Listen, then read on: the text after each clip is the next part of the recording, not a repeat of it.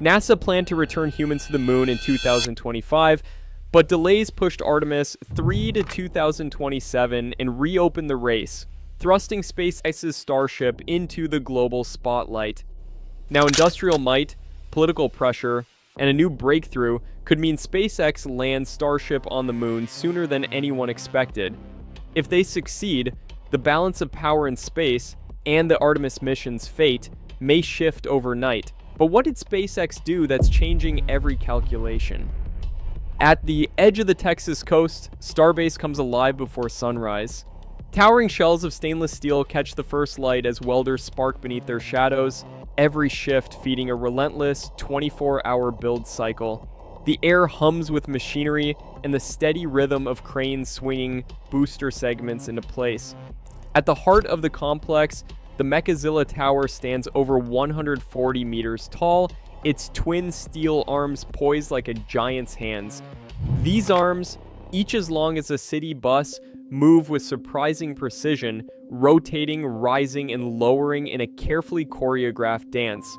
Teams of engineers in hard hats and flame resistant jackets move between rocket sections, their breath visible in the dawn chill, focused on the next assembly or inspection. The night shift hands off to the day as the Star Factory's doors roll open, releasing another convoy of freshly welded rings.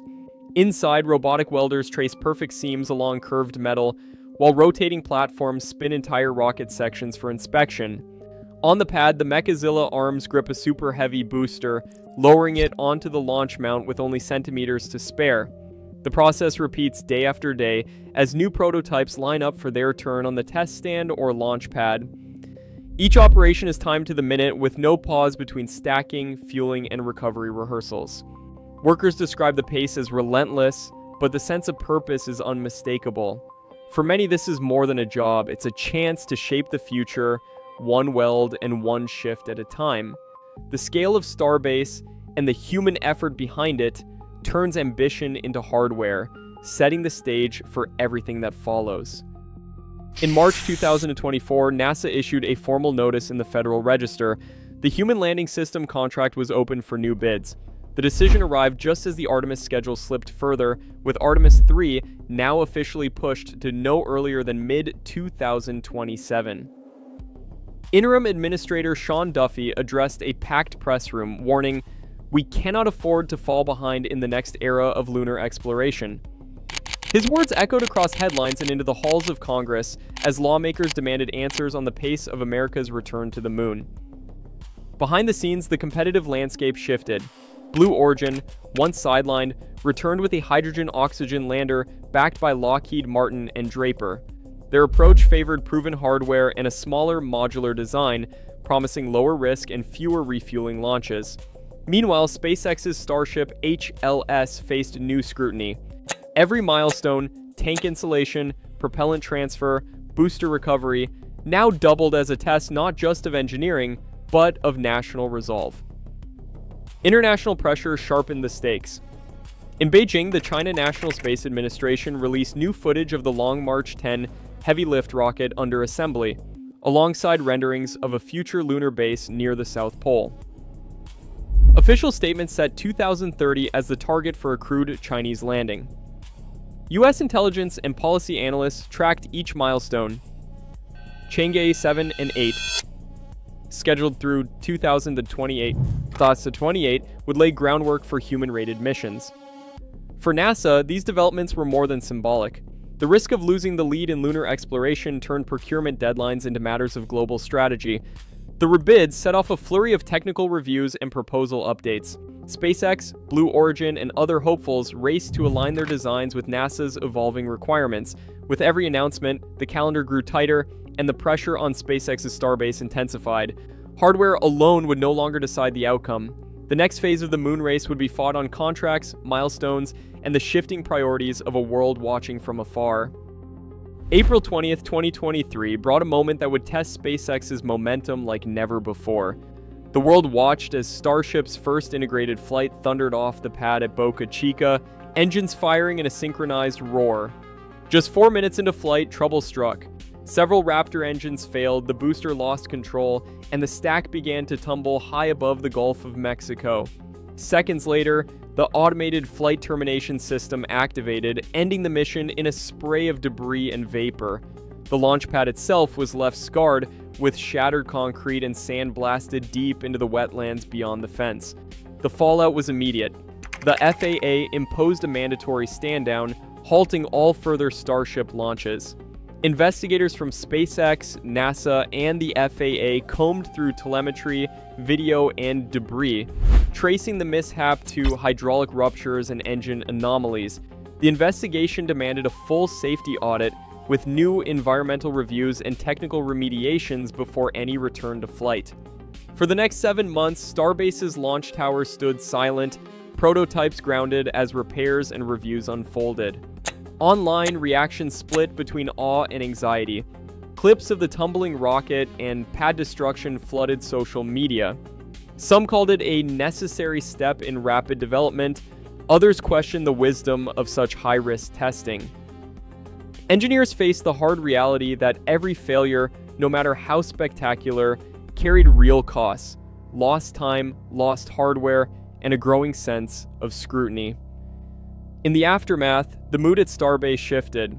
The excitement of relentless progress gave way to a more sober appreciation of risk. Each future launch would now carry the weight of this lesson, shaping how SpaceX approached every milestone on the path back to the moon. Starship's journey to the moon depends on a sequence of tightly linked steps, each with its own margin for error. After liftoff, the Super Heavy booster lifts the stack to roughly 75 kilometers above Earth. At that altitude, the booster detaches and returns to the launch site, while um, while the upper stage Starship fires its six Raptor engines and pushes into orbit. But reaching orbit is only the beginning. To carry enough propellant for a lunar landing and return, Starship must be refueled in space. This process requires a fleet of tanker starships, anywhere from 8 to 16 launches per mission, depending on the final lander mass and the efficiency of each transfer.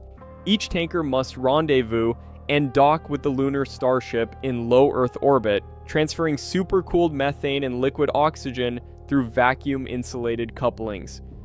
Every connection, every transfer, and every orbital maneuver introduces a new variable. NASA's risk matrices list these as single point failures. If one tanker misses its window, or if a leak or boil off occurs, the entire mission could be delayed or aborted. Until these steps are proven in flight, the path to a crewed lunar landing remains uncertain. Star Factory's footprint has doubled since 2023, with new Megabay and Gigabay expansions rising at both Boca Chica and Cape Canaveral. Inside these hangars, robotic arms weld steel rings with millimeter precision, while rotating platforms speed up inspections that once took days. The pace is unrelenting. Output of Starship sections and super heavy boosters has more than doubled in the past year, with barges now hauling finished segments along the Gulf Coast to keep assembly lines fed. At McGregor, Texas, the test stands thunder with the arrival of Raptor 3. This engine, forged from fewer parts and built for reliability, has already pushed past 250 metric tons of thrust. An improvement engineers describe as essential for lunar missions. A Raptor test engineer, eyes fixed on telemetry, calls out numbers as the chamber pressure climbs higher than any previous run. Each test shortens the path to flight, with failure studied and fixes applied before the next engine leaves the line. On the floor, Welders and technicians work shoulder to shoulder through 12 hour shifts, many drawn from local apprenticeship programs. One welder, still learning the trade, says, You land, you grind, you build. It's not just a job, it's history. The human drive behind each shift and the scale of the machines they build are what make SpaceX's cadence possible. Every booster and engine that rolls out brings the moon a little closer. Each new Starship variant, whether it's a change in engine design, flight profile, or even a minor structural update, triggers a fresh round of regulatory scrutiny. The Federal Aviation Administration, or FAA, stands as the gatekeeper for every launch from Boca Chica. Before a single Raptor engine can ignite, engineers must submit detailed technical data, hazard analyses, and evidence that public safety and environmental risks are managed for the specific vehicle configuration. If a change is deemed significant, the process can stretch for months. After the April 2023 test flight failure, the FAA imposed a stand down that lasted nearly five months. Investigators pored over telemetry, pad debris, and wildlife reports before clearing the next attempt. Environmental reviews add another layer, especially with Boca Chica's proximity to protected habitats. A new or expanded environmental assessment can take more than a year, as seen in the 2022 review that required 75 mitigation measures. Licensing cycles now shape the entire Starship schedule, sometimes moving faster than expected, but often slowing to a crawl as every document, diagram, or document, diagram, and safety case is reviewed and stamped. The path to the moon runs not just through engineering bays, but through offices lined with paperwork and policy binders. In 2024, NASA formally reopened its Human Landing System competition, citing schedule slips that pushed Artemis 3's first crewed landing target to no earlier than 2027. SpaceX responded by doubling Starship manufacturing output and testing the new Raptor 3 engine, which now exceeds 250 tons of thrust. The documentary has shown how ship to ship cryogenic refueling multi tanker launches, and strict FAA licensing remain critical hurdles. Despite several test mishaps, like the April 2023 flight termination, SpaceX has accelerated hardware progress and workforce expansion at Starbase. Yet, key questions persist. The cryogenic transfer system needed for lunar missions is still unproven, and every Starship variant requires fresh regulatory approval, adding months to the timeline. Public documents confirm the race with China is driving urgency, but much of Starship's final engineering data remains proprietary. What is clear is that NASA and SpaceX are reshaping what's possible for lunar access, using hard won lessons and relentless iteration. The next step depends on overcoming technical and regulatory barriers, each one documented, each one real.